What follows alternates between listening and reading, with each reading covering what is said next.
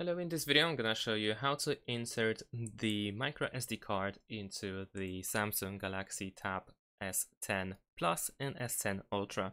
In order to do so, at the top we will find the tray for the memory card and for some models for the SIM card as well. So we will need to use the pin ejector tool.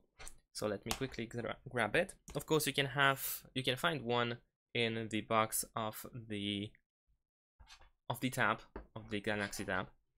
And over here you will find this hole here. You need to pretty much put the pin inside of this hole. And once you once you put it in, you want to push it down just slightly. It should come off just a bit really easily. As you can see, it came off just a bit. And now you can use your fingers in order to take it out. There we go.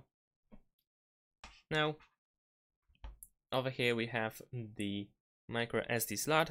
I have the version without the SIM card, so I cannot really use a SIM card over here. Uh, I can only use micro SD card.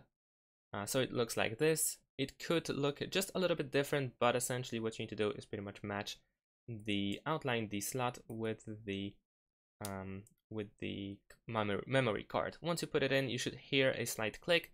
Then you can be certain that you inserted the micro SD card correctly and now pretty much put it back in. Keep in mind that you may find the top side, it can be written on the uh, SIM tray that it is the top, so this is the front side. Of course you need to match the hole, so maybe let me actually put it like that. So of course on the right side over here you can see there is still the hole, you need to match it with the hole like that and just push it in with your finger.